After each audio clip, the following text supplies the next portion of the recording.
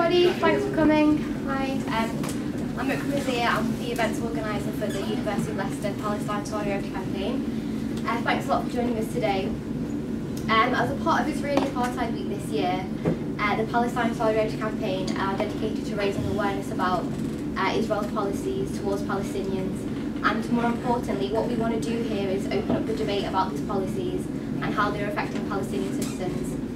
Uh, before I introduce the panellists, I'd just like to make a final note before we start the discussion.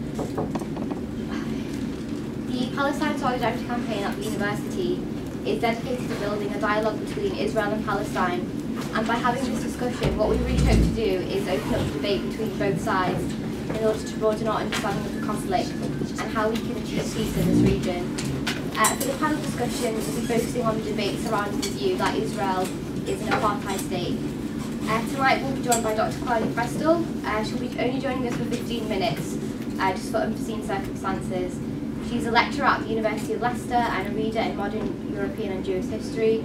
She's also taken extensive research in German Jewish history and in particular social and women's history in the 19th and 20th centuries. Um, also Alan Johnson, who's kindly joined us today. He's the editor of Fathom magazine, and this is a magazine that aims to promote a deeper understanding of Israel and the region. He's also a senior research fellow at the Britain-Israel Communications and Research Centre, and also a professor of democratic theory and practice. And also, finally, Ismail Patel. He's a commentator for The Guardian, The Independent, and Al Jazeera English. He's the founder of Friends of Al-Aqsa organisation, an NGO which is concerned with defending the human rights of Palestinians and protecting the Al-Aqsa sanctuary in Jerusalem. And to start with tonight, uh, Dr. Claudia will just like to say a few words before Chester leaves us, just around the topic that we'll be talking about tonight. Okay, uh, last year I was uh, teaching in Regensburg in Germany. My students were always writing their essays and they concluded about uh, how nice it would be if there was peace in the Middle East. And I usually wrote back and said, why do you want to ruin people's businesses? I mean, what's the matter with you? So of course, on a less sarcastic note, uh, who profits from the occupation is of course one of the websites. I mean, if there was no profit being made out of the occupation, then maybe maybe we would be a step closer to peace. Maybe, only maybe. Now the other issue is, of course, uh, what you said. You know, is uh, is there apartheid happening uh, in Israel or in the occupied territories? Again, before I came here after three hours of uh, teaching on Palestinian citizens of Israel, so not Palestinians in the occupied territories, but Palestinian citizens of Israel, I just quickly flipped through my email, and the news is that apparently now there are special buses for uh, Palestinians. Uh, well, I don't know what word to use for this, but this pretty much comes close uh, to segregation or apartheid.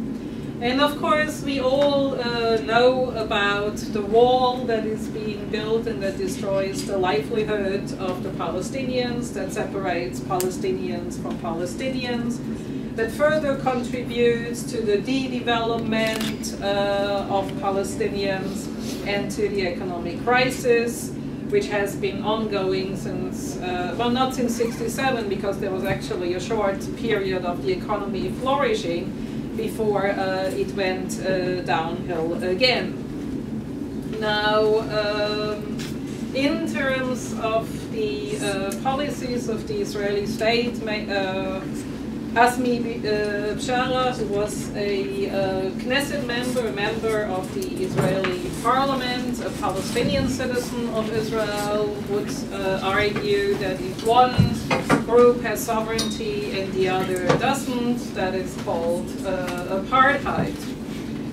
Other uh, scholars argued that it is more useful to talk about Israel as an ethnocracy or an ethnic demography because, uh, again, uh, it is not a liberal democracy in the Western uh, understanding of the term because of its uh, discrimination uh, policies, first of all, against uh, its own citizens, and one only needs to think of the Bedouin in the desert, who are Israeli citizens, who serve in the army even, and who have their homes uh, demolished on more or less a regular basis, and of course are discriminated against on uh, many other levels.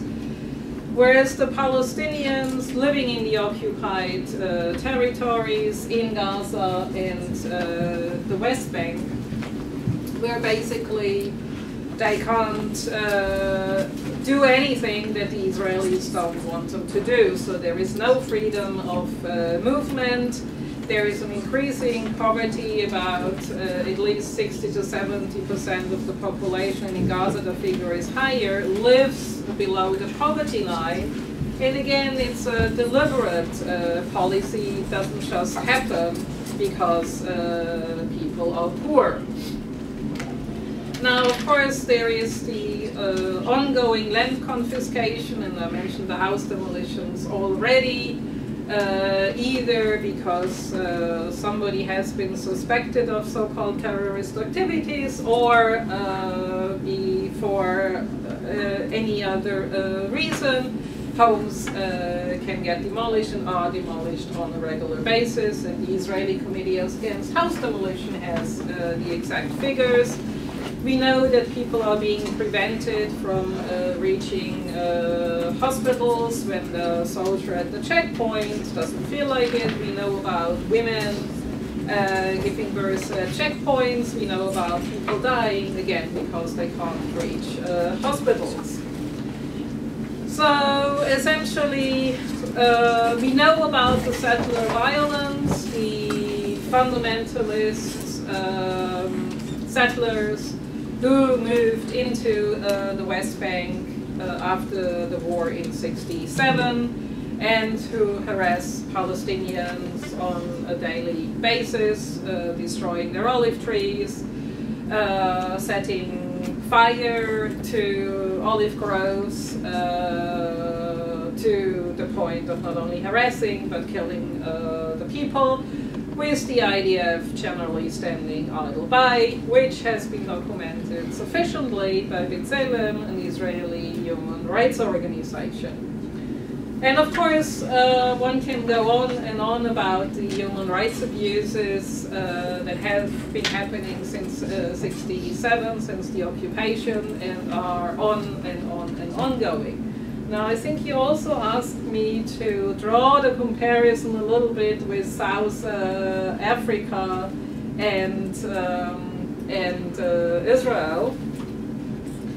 Now, uh, uh clearly, there are a lot of similarities between these two states, uh, now the two systems. What of course Israel also does and has done successfully is always eliminating any Palestinian uh, who uh, could be the kind of spokes, the partner, so to speak, for peace and in the general Israeli rhetoric is there is no one to talk to, there is no partner for peace. But even non-violent resistance is, of course, uh, being uh, oppressed. So we are not even talking about what is generally called terrorism, we are even talking about non-violent uh, resistance. The villages in Bil'in and others who uh, have been demonstrating against the wall, who have been demonstrating against, uh, against um, the confiscation of land, again are constantly uh, being uh, harassed and the activists are uh, either being killed or arrested. We know of just a few days ago another Palestinian prisoner uh, being uh, died of, as a result of torture in Israeli jails, which again we know is illegal according to international law. And just uh, before we started talking, we started talking about Prisoner X, which uh, you will probably, you might probably want to talk a little bit more about Prisoner X because you're off to Australia and to Melbourne, the world's most livable city, according to my view, of course. Now, I think I'll leave it at this, and I probably, if people want to have questions, then they may do so. Yeah. Um, before Claudia goes, anyone have any questions? Before we move on. They're like my students. They never have any questions either. yes. You, you're obviously of the school where you you, you believe that it is what Israel is doing is apartheid, right? Looking back through history, at what point did apartheid break down in South Africa, and you, at what point do you believe this this will be reached in the current conflict? Well, from what I understand in South Africa, because you obviously had Mandela and you had de Klerk on the other side, and you had the uh, isolation of the world, so, so to speak, when uh, when it was no longer acceptable to have apartheid. So uh, that the state, in a sense, was forced to change its attitude. And of course, the, uh, this is the attitude of those uh, who support the BDS, who argue uh, that we need to have the same strategies that we had in uh, South Africa. And when the struggle in South Africa began, uh, people who were active in the anti-apartheid struggle thought this, the, the struggle would never end which of course in the finish it did. Now, this doesn't mean that there are not enormous economic problems, and it doesn't mean that now so South Africa is a paradise on earth, but at least apartheid, official apartheid, has come to an end. Does anyone else have any more questions before we, uh, before we move on? No? Okay. Um, I'd like to pass over to Alan Johnson, who'd like to talk a little bit about what we've been, what Israeli apartheid and what, what we can make of apartheid in Israel and if it actually exists or not. Okay, thanks very much. Um, thanks very much for inviting me. I think debate is always a very good thing. I'm always happy to debate with the PSC as my sister's a member, so um, no problem there. Um, what are we debating tonight? Um, I'm going to suggest we're debating a, a calumny, which is a word which means a deliberately malicious misrepresentation of the facts about a particular matter in order to ruin the reputation of whomever is the target. I'm not here tonight because I think there's a serious debate to be had about whether Israel is an apartheid state or not. It's not. The debate is partly why you've chosen to frame Israel as an apartheid state.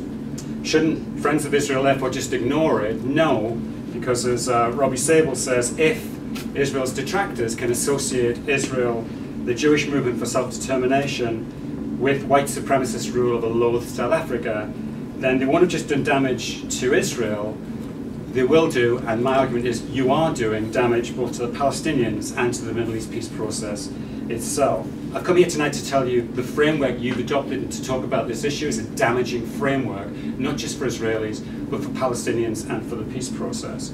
How did this apartheid smear get going? Two key moments. The first moment is the campaign launched by the Soviet Union and the Arab states in the 1970s, allied with the non-aligned movement, to frame Israel and to frame Zionism as a form of racism. And they used their inbuilt majority in the General Assembly in 75 to get that passed. In 2001, the next key date, at the World Conference Against Racism in Durban, there was another key moment when, not because of what the states there did, but because of the NGOs who were there, in a very organised and pre-planned way, released a statement out of Durban denouncing Israel as a racist apartheid state and calling for the total and complete isolation of Israel. They set off a campaign, one of the elements of which was apartheid weeks, and that's why we're sitting here tonight. For the record, and the record matters, the Durban gathering was truly astonishing anti-Semitic hate fest, which you do need to know about that event. There were Arab Lawyers Union distributing pamphlets filled with grotesque caricatures of hook-nosed Jews depicted as Nazis spearing Palestinian children. Attempts to have the group's credentials uh, removed were refused. There was a, a, march led by Palestinians at the end of the gathering in which a placard was held aloft which said Hitler should have finished the job.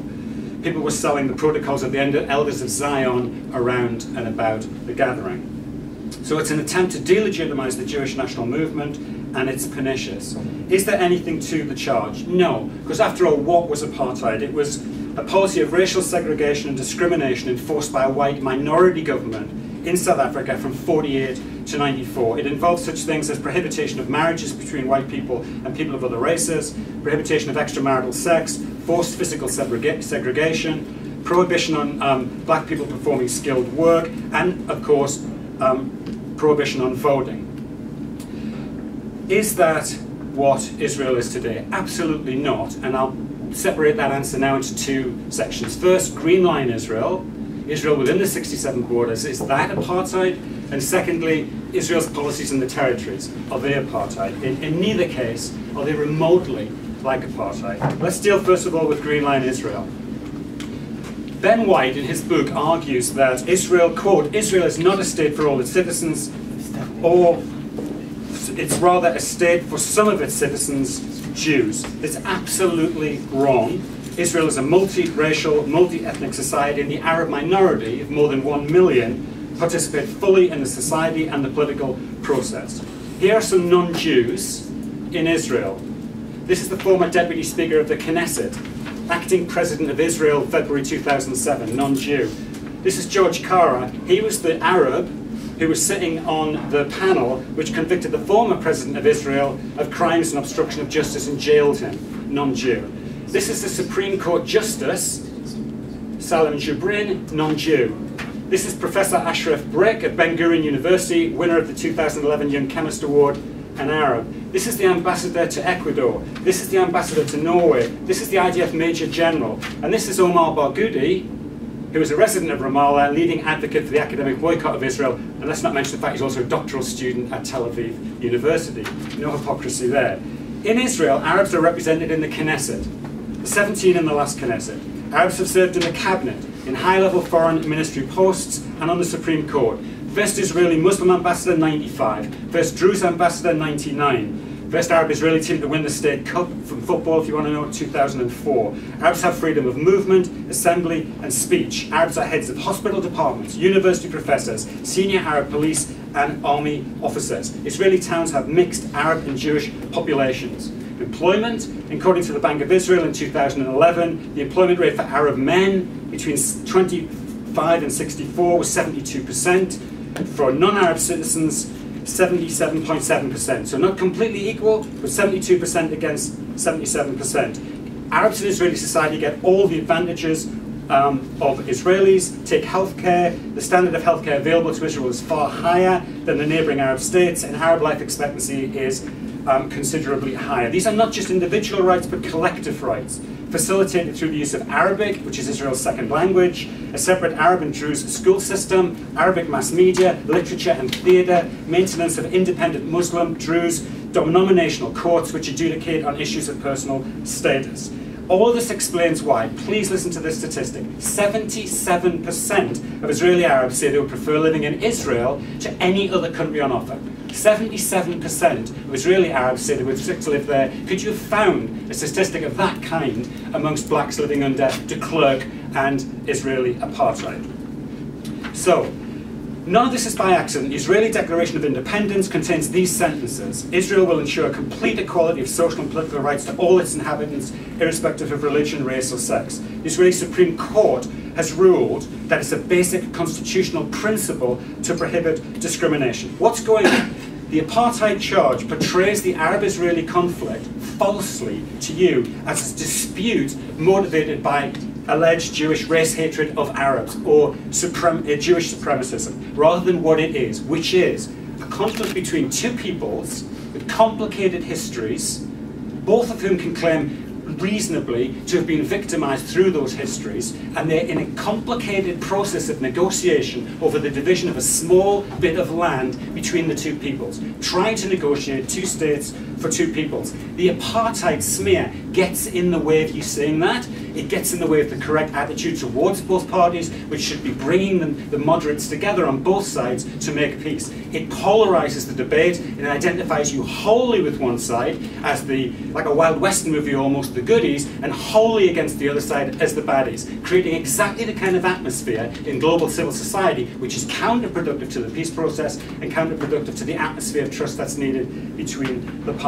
So am I saying things are perfect for Israeli Arabs? Not at all visit Israel regularly. I was in the Negev desert talking to Bedouins in Rahat, talking to Benny Begin, the minister responsible for all of that. There are problems, absolutely. Which society does not have problems integrating minorities? But here's some of the differences. The Israeli cabinet set up the Or Commission in 2000. The Or Commission reported and the cabinet accepted its judgment, which was that there is serious discrimination, serious inequalities in society, and they have to be dealt with. That's why, for instance, there is now a 3.9 billion program around a multi-year development plan for Israeli Arabs aimed at encouraging development.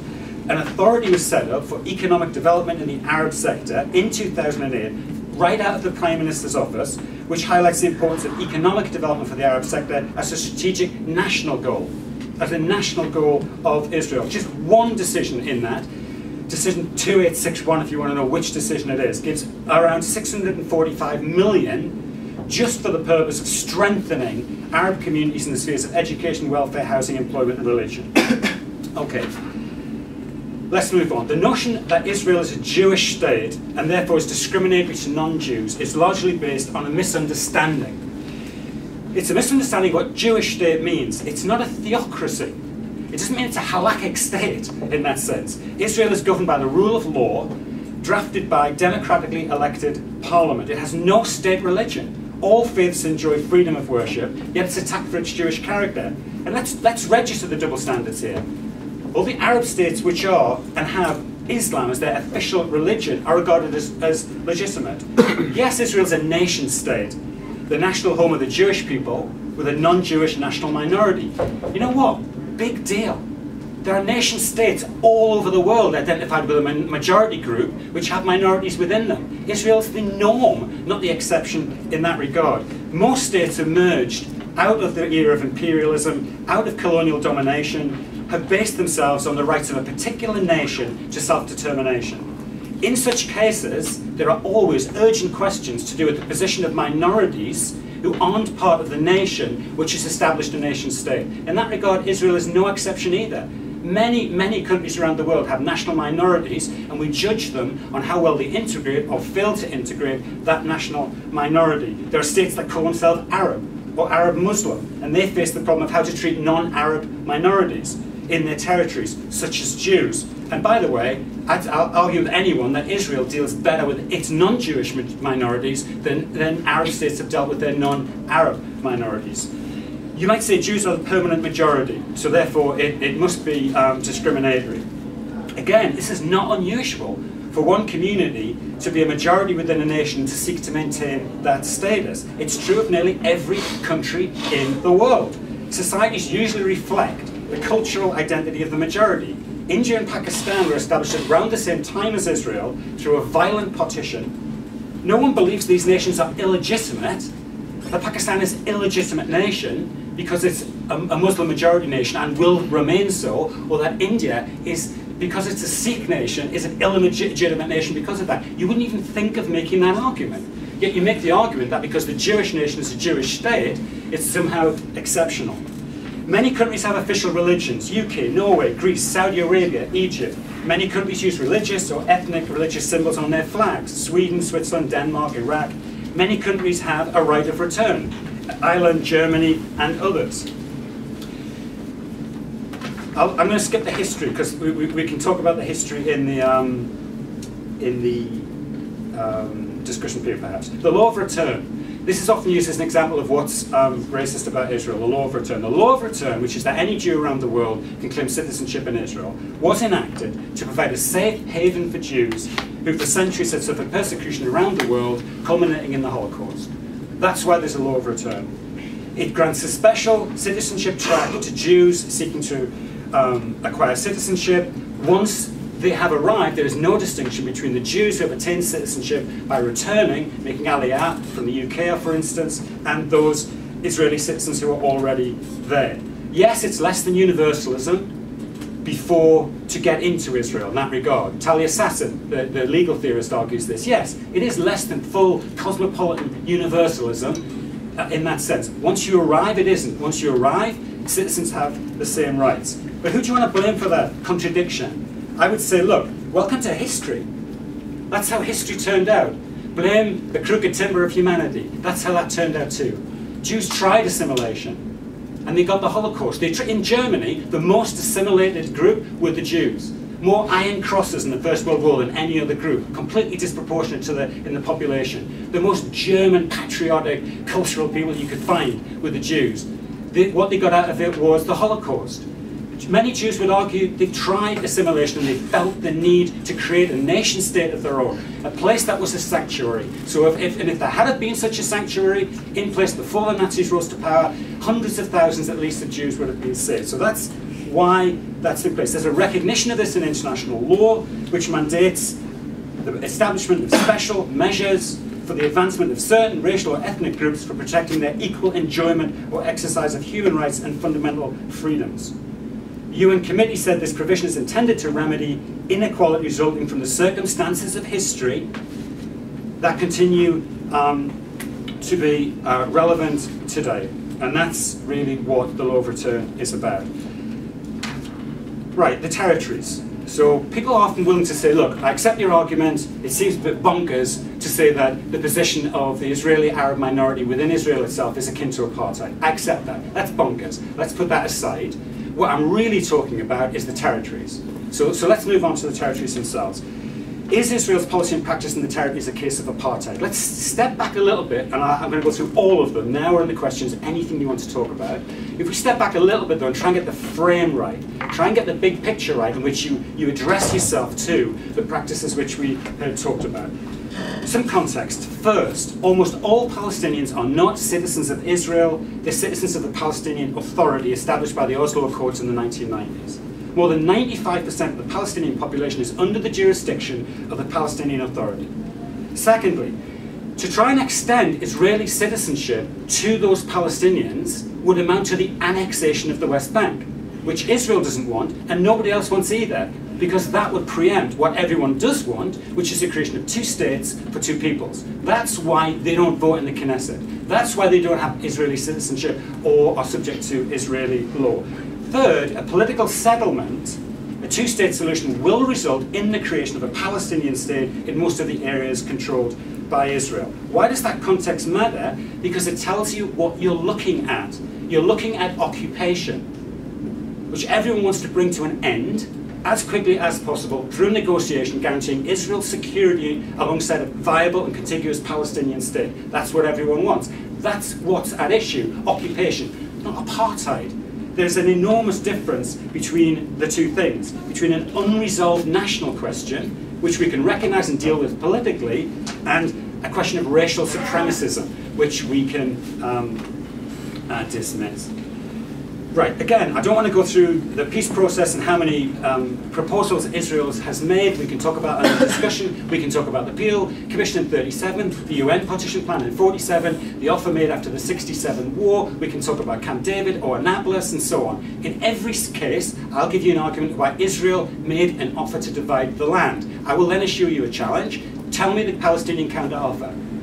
At any point, from the 30s with Peel to Annapolis in 2007-8. Show me the Palestinian counter-offer that said we want to divide the land. You won't be able to provide it. There has been no counter-offer to this day to repeated Israeli attempts to divide the land. That also is part of the difference. Now, it also tells you that what you're looking at when you're looking at the specifics that you talk about when you say apartheid is happening in the West Bank, what you're looking at are the consequences of an unresolved national question, the consequences of occupation, and the consequences of the Palestinians turning from the Second Intifada to terrorism, to the murder of over a thousand Israelis, to the maiming of many more thousand Israelis, and the traumatizing of many more thousand Israelis than that, and the collapse of the economy at that point. You're looking at a series of measures, self-defensive measures, brought in at that point to deal with security. So let's just deal with a couple of them and others can come up in the discussion.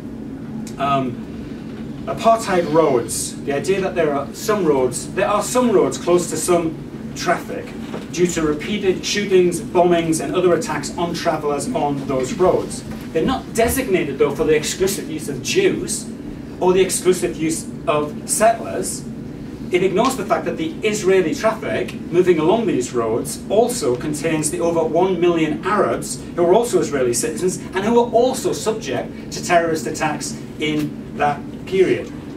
There's checks and balances. The Supreme Court in 2009 ordered the opening of Israeli-only roads on the grounds that its closure to Palestinians was not justified in security concerns. The Israeli Supreme Court looks at all of these specific measures that you're going to say are examples of apartheid and it tells the executive to change what it's doing. It reviews the balance constantly between human rights and security, and it, both in the wall and in, for instance, the, um, the roads, and it tells the government to change what it's doing. Now look, the wall, the apartheid wall.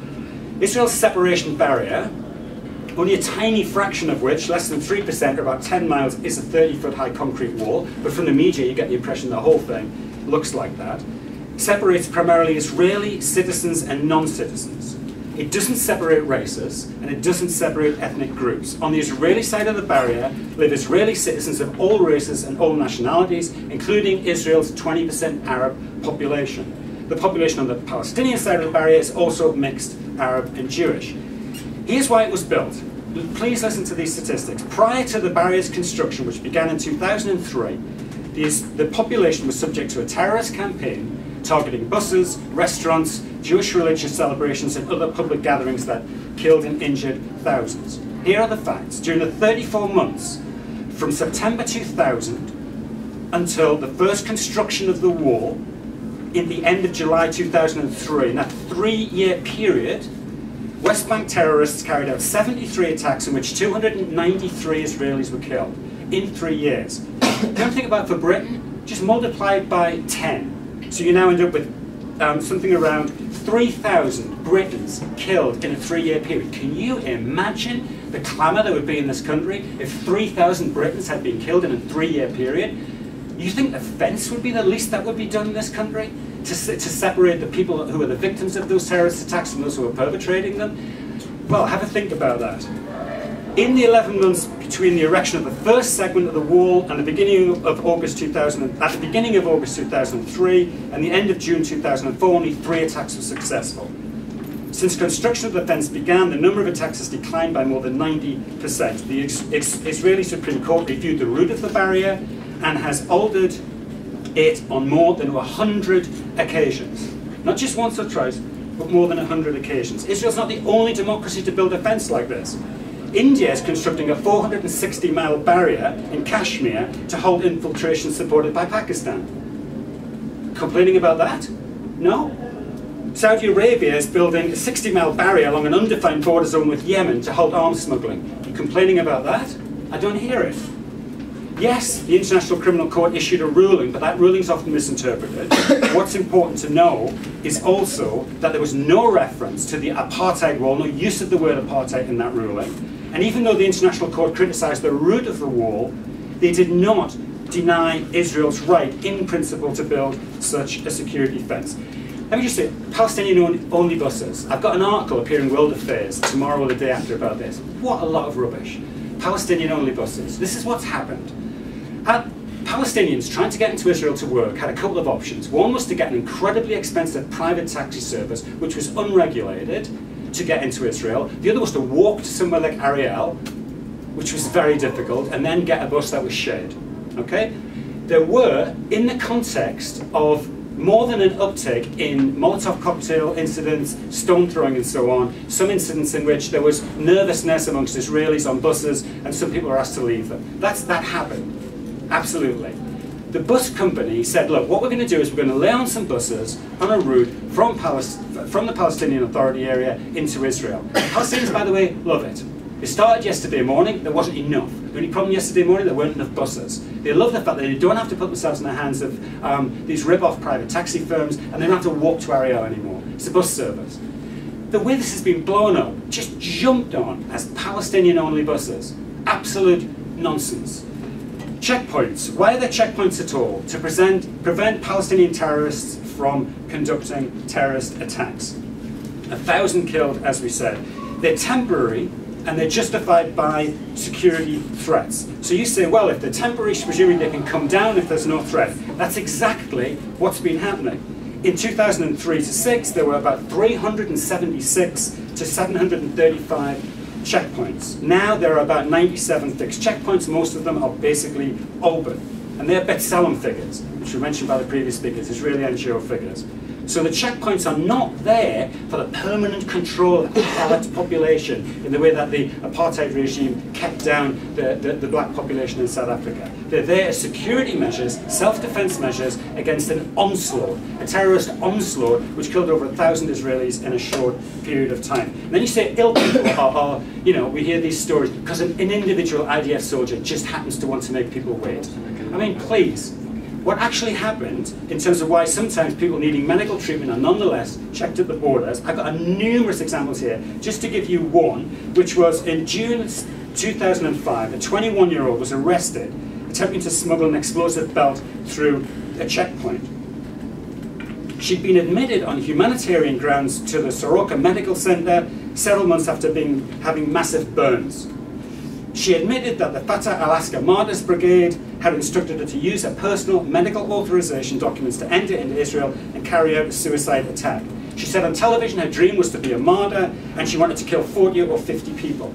A Palestinian doctor, hearing this, Dr. Izzeldin Abuelaish, a Palestinian obstetrician and gynecologist from a refugee camp in the Gaza Strip, said of this he was outraged at the cynical and potentially deadly suicide bombing attack. So again, it isn't some individual IDF soldier who just fancies making a pregnant woman wait. That's rubbish, to be, to be honest with you, with all due respect.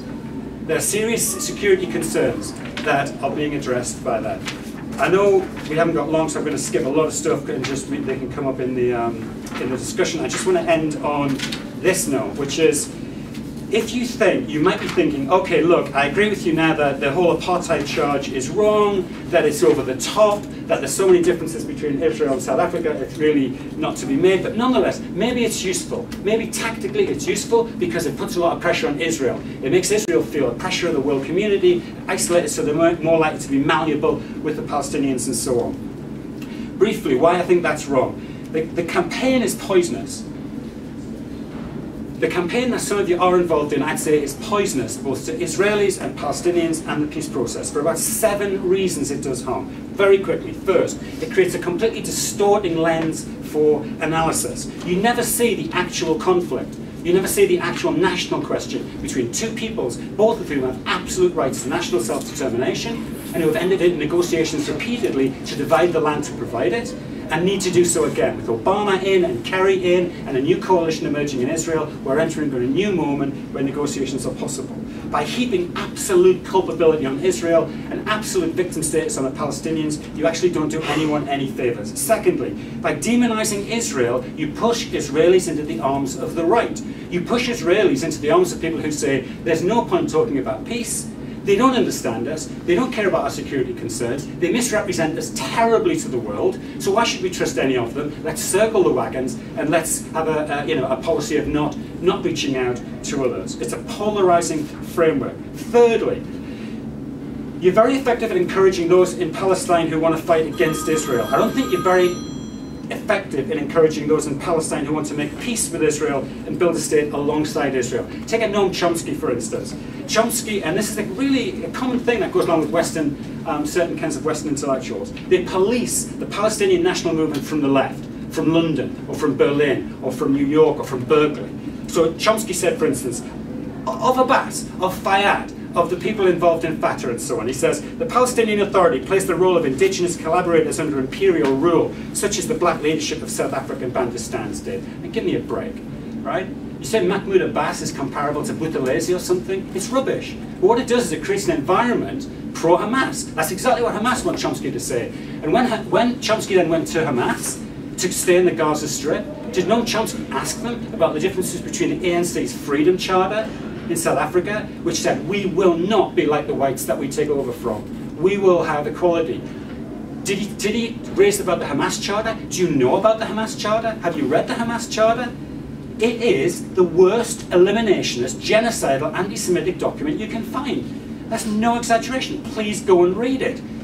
It's, it's pious eliminationist anti-Semitism, quoting the worst hadith that you can find, and it's secular, the worst anti-Semitism. The Jews are responsible for all the wars. The Jews are responsible for all the revolutions. We'll never have peace in the world without the Jews.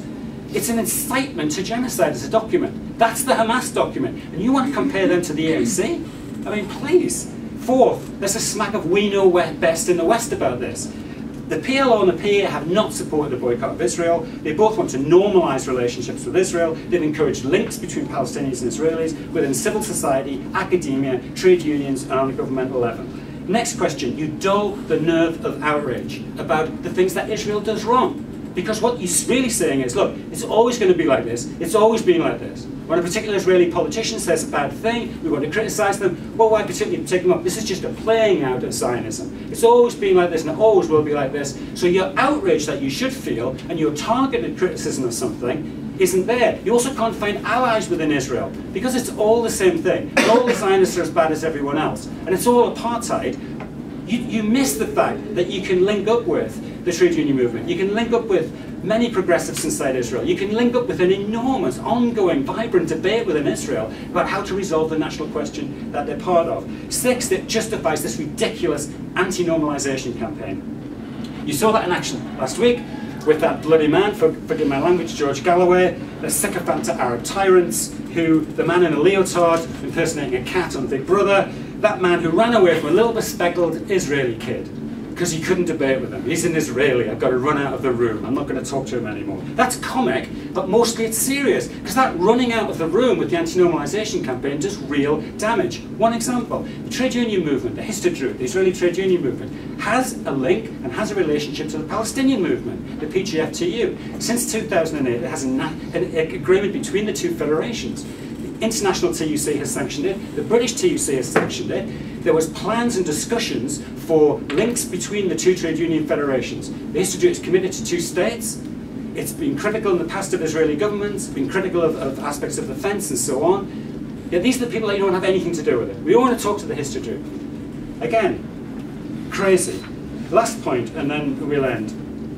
There's real opportunity costs as well um, you focus upon this issue in the way that you do, it means you don't focus on other things. Let me give you a couple of statistics. In Syria, around 70,000 Syrians have died in a matter of months. There's no solidarity, I don't know, maybe you do have a Solidarity with Syria week, and I've, I've done you a service, but maybe there's not a Solidarity with Syria week. In the entire Israeli-Palestinian conflict, from 1912 to 19, from 1920 to 2012, all of the riots, the wars, the atrocities, the intifadas and so on, how many do you think have died? But 122,000. So there's more in 24 months in Syria have died than in 92 years in Israel-Palestine. So think about the opportunity costs of the unremitting focus that you have. I was in giving a debate the other night in King's College with the Palestinian ambassador, Manuel Hassassian. Two of us, we sat on a panel together. There were four events going on in King's that night about Israel-Palestine. Four. None about Syria. In conclusion, an appeal. Why not engage in solidarity, mutual recognition and peace? Why not disengage with apartheid talk? How and why? How?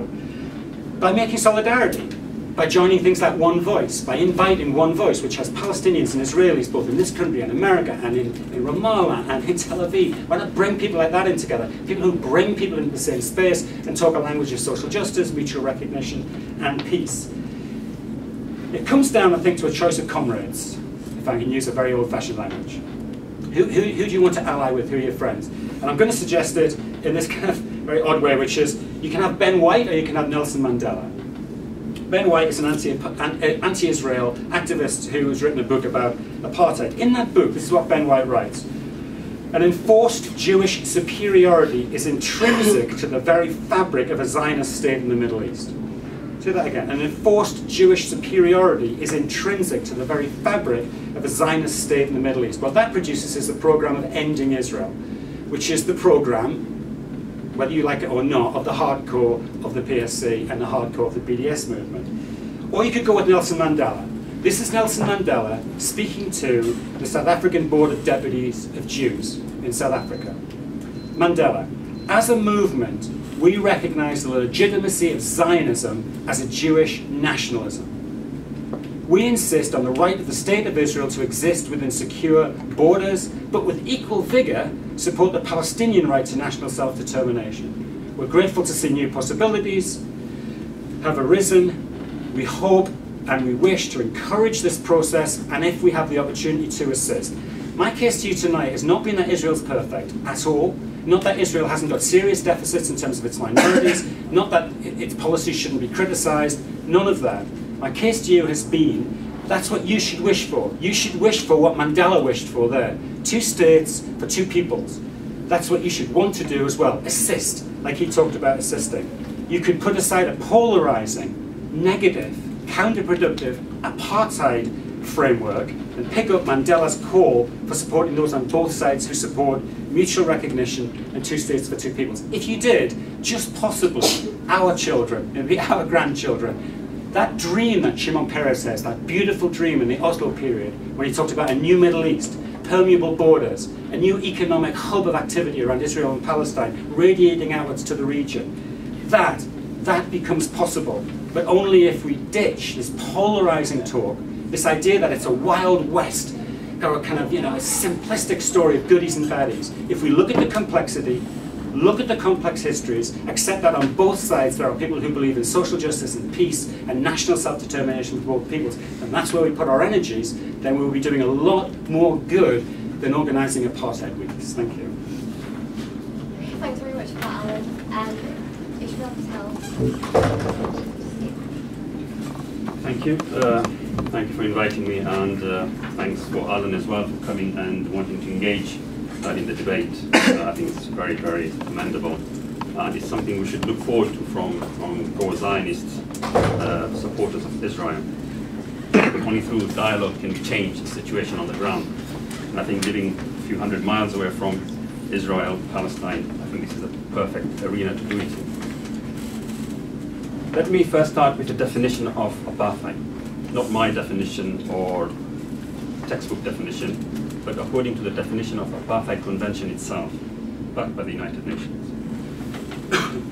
apartheid is the purpose of establishing and maintaining the domination of one group of persons over another group of persons and systematically oppressing them. End of quote. That's the definition. It's not about white supremacists it's not about Jews over Muslims, or Muslims over Jews, or Christians over Jews, or Muslims, any, any dimension. It's simply creating a system in which one group of people attempts to suppress another group of people through institutional means. Now, does Israel fit into this definition? It's a big question. To understand Israel, I'll have to make you think in two dimensions being university students, you think in four dimensions it would be very easy for you. I'm sure it won't be very difficult at all. The first is the time dimension. The time dimension is the fact that what happened in 1947-48 is consequences and its impact are being felt today. It's a continuum. You can't look at what's happening today and think in its isolation. You have to connect it with the time. And there's a space dimension. What is happening in Gaza, Bethlehem, Khalil, Hebron, and Jenin is also happening in Tel Aviv, in Jaffa, and Haifa. But, and this is the important thing, it happens at a different degree and level. Israel has created intrinsic characteristics of law and legislatures in which there are institutes that it enacts its policies at different levels on different people. So let's start first with the 1967 borders, so-called the Green Line. Let's look at Israel and what it does within these 1967 borders. Now there's two groups of people within 1967 borders, of the Israeli citizens. First, there are the Jewish people who are the majority, and then there's a minority. The minority is made up of Christians, Muslims, Druze, and non-believers, as any society does. Is there a deficiency an allocation and institutional structure that exists in Israel that undermines this minority. Let's look at budget allocation. Since the establishment of the State of Israel, since the establishment of the State of Israel, for the development budget, only 6% has been allocated to the Palestinian indigenous minority. Only 6%, never above 6% housing, schooling, infrastructure, roads where the Palestinians live are always 6%. We talked about poverty. Look up Haaretz, look up United Nations, in fact, look up 2002 Israeli statistics. 50, 15% of Israelis, Jewish Israelis, live under poverty. 15%, one five. However, 50% of Palestinian Israelis live under poverty. these are Israeli government statistics. Israel Mossawa, this is a, a, an NGO called the Mossawa Institute based in Israel, quotes that an average Palestinian family earns 63% less than an average Jewish family. This is an economic fact. Let's look at political discrimination. Leave the budget aside now. Is there a political discrimination in Israel? Alan has articulated the fact that in Israel, you're an Arab, you're a Jew, he's shown us all these pictures. Fantastic. You can go and vote in elections, you can become an MK member. There are 12 now, if, if I'm not wrong, maybe one or two less uh, than I'm mentioning. 12 MK Arab members within the Israeli Knesset. Does that mean that there is no discrimination? There's two factors here. First, those MKs have been greatly harassed physically and verbally, so much so that none of them, of the attacks that have taken place on them, have been able to bring those cases to courts because the attackers are former, their fellow MKs, Jewish MKs, who have immunity and they cannot bring them to ch charges. And you can look that up within the MK uh, charges. But there's also Israeli politicians, people like Lieberman. I quote, we will take care of you, this is regarding the MKs, the, the members of parliament of Israel, we will take care of you like we take care of the terrorists, quote unquote. This is last year's quote. Danny Danon, you are masked terrorists, referring to his fellow MKs, Arab MKs. There's another factor, and this is the clever bit about Israel. Not all Arabs, the so-called Israeli Arabs, what I would like to refer to as indigenous Palestinians, are allowed to vote. 15% of Israeli Arabs the indigenous Palestinians are not allowed to vote because they are recognized as present absentee. George Orwell will be turning in his graves because he didn't think of that word. Present absentee in Israeli law means that they exist physically, but the government and the law does not recognize them to exist. So they're present, but they're absent in the eyes of the law. And they constitute, they're not a small number, they constitute 15%. And they're not allowed to vote. So is this discriminating a group of people? Is this discrimination of one type of people over another type of people?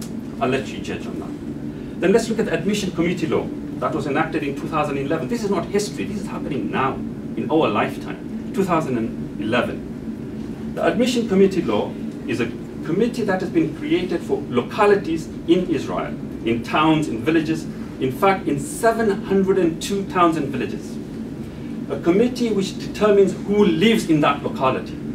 So in Britain, you can go anywhere, rent a house, as long as you've got the money, you can move in. In Israel, if you're an Arab, if you're a Druze, if you're a non-Jew, you have to apply to this committee whether you can live into that, within that locality. And who is this committee controlled by? All of it is controlled by non-Palestinians. their sole purpose is to stop the Arabs living with the Jews. I quote, there was a rabbi, Rabbi Shlomo Avni, and who passed an edict which has been signed by many, many rabbis. It's quoted in Haaretz, and his quote is, we don't need to help Arabs set down their roots in Israel. If this is not racism, I don't know what is.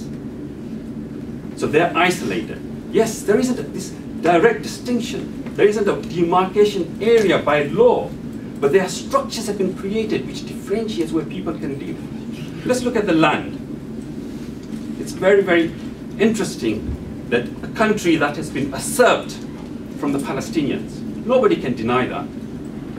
Prior to 47, 48, the whole of the territory belongs to the Palestinians. Nobody can deny that. But today, a Palestinian cannot buy land in Israel.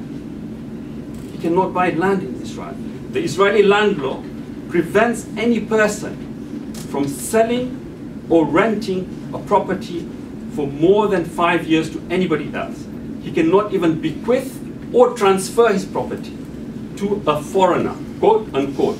That's the way the law ends. Then you have to look up the definition of who these foreigners are. So who are these foreigners? It's a fantastic law. You can't sell it to a foreigner. A lot of countries around the world have laws. You can't sell your land to foreigners. So has Israel.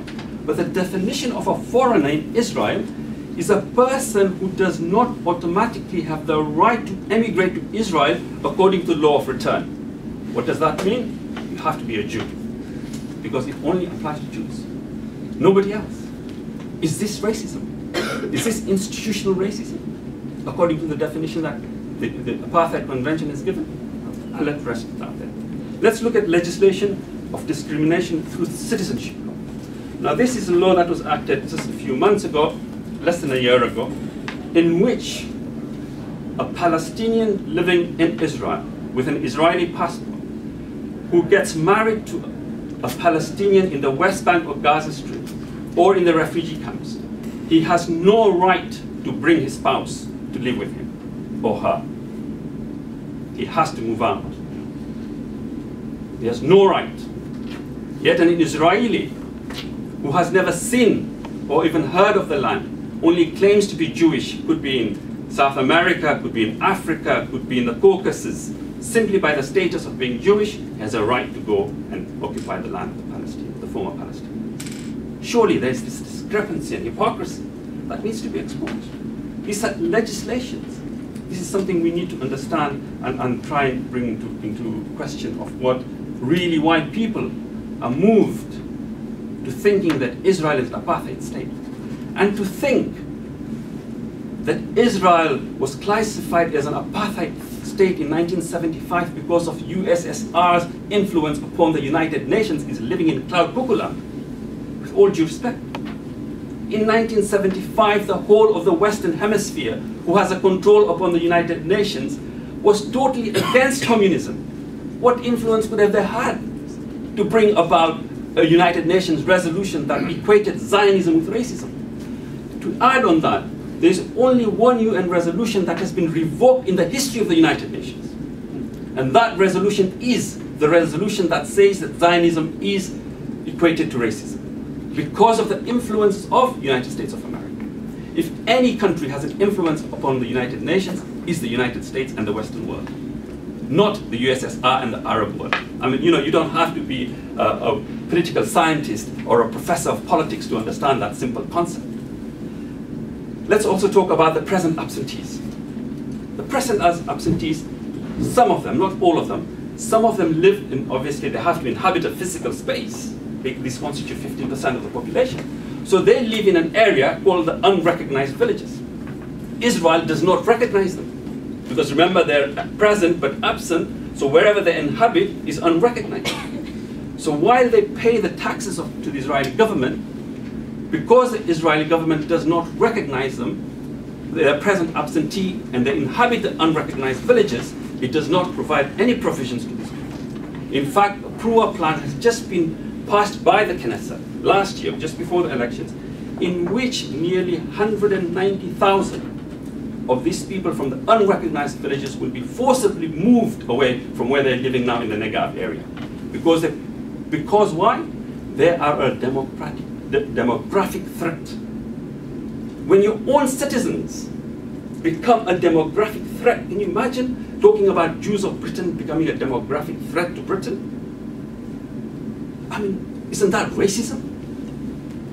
If that is not apartheid, I'll let you decide depending on the definition. Now, this is within 67 borders. I've only concentrated upon 67 borders. There's a second dimension now. The second dimension, just to pick Alan's point, that Israel is so averse towards annexations. You know, they hate, they wouldn't want to annex West Bank. I mean, how could they annex? They're such a fantastic institute. They don't want to take over and give passports to the Palestinians. What are they doing in East Jerusalem? They've annexed it. They've annexed East Jerusalem. And every Zionist leader won't stop shouting at the top of his breath, the united capital of Israel. This was occupied in 67. So the status of the Palestinians in East Jerusalem is even worse than the status of the black people in apartheid South Africa. Hence we had Desmond Tutu say when he visited East Jerusalem, saw with his own eyes what the Palestinians were going through, that what we had in our days in South Africa was a picnic. And this is a man who has lived through apartheid South Africa. So what's happening in East Jerusalem? In East Jerusalem between 1967 and 2010, 40, this is the United Nations, since we've been flagging uh, leaflets, this is United Nations statistics.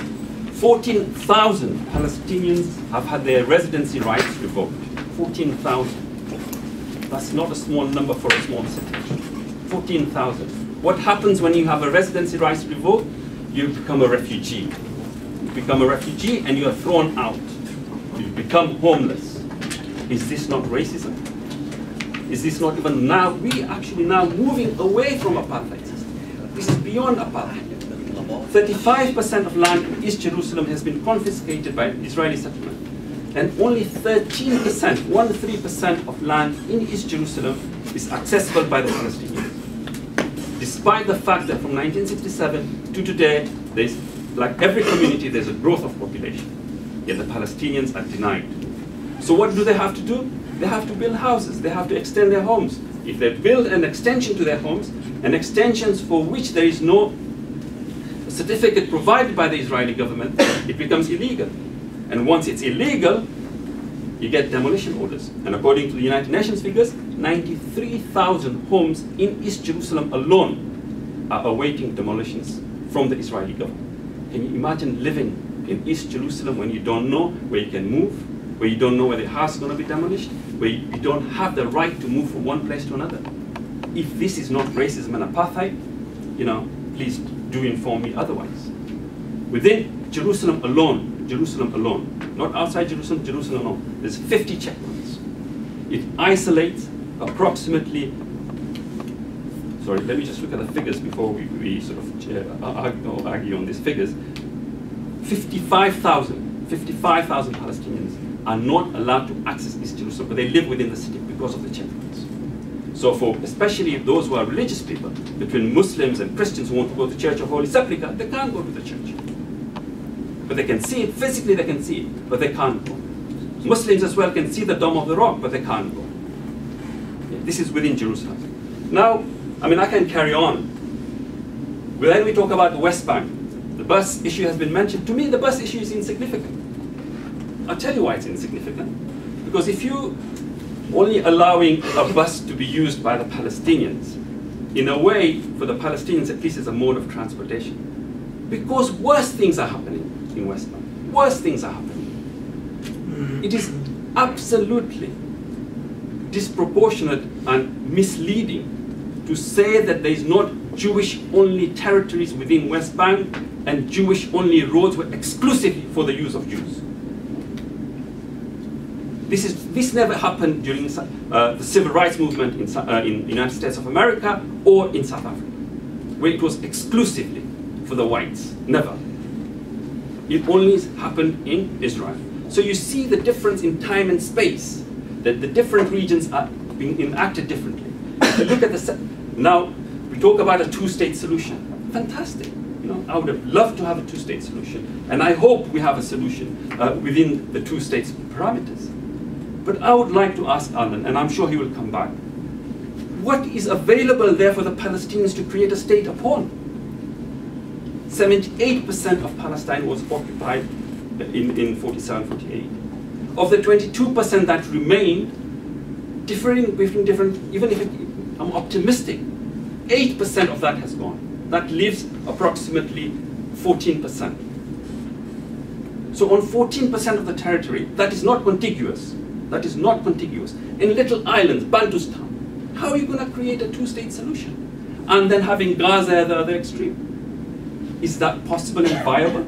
If it is viable, please do inform me and impress me, because I would like to join my hands with you and we create this two-state solution, because that is what we have all been, been working for all these years. But the Zionists have destroyed the hope of a two-state solution. It's not the Palestinians. We talk about Gaza. There's a great disengagement in Gaza. Israel has left Gaza, they can do whatever they like. Amazing, isn't it? If it is disengaged, why do Israeli naval boats always trying to bomb and storm those ships that are going from Europe to bring aid to the Gazans? It's disengaged itself. Surely the people of Gaza have right to use their ports and take them wherever they want. Surely they have a right to export their goods and bring in whoever they want. But no. So this disengagement is an illusion. Like an illusion of an offer of peace upon the Palestinians. There is no peace. In fact, the peace has been the greatest fraud upon the Palestinian people. And why do I say it's a fraud? If you look from the time of the peace process of the Oslo Agreement, at the time of Oslo Agreement in early 1992, Israel had approximately diplomatic relations with 24 countries, approximately. Today, under the guise of that peace, because Israel is on the path of peace, it has diplomatic relations with 160 countries. It has changed the parameters. This same peace, in 1992, there were approximately 98,000 settlers living in West Bank. 98,000. Today, there's 300,000 settlers living in West Bank under the guise of peace.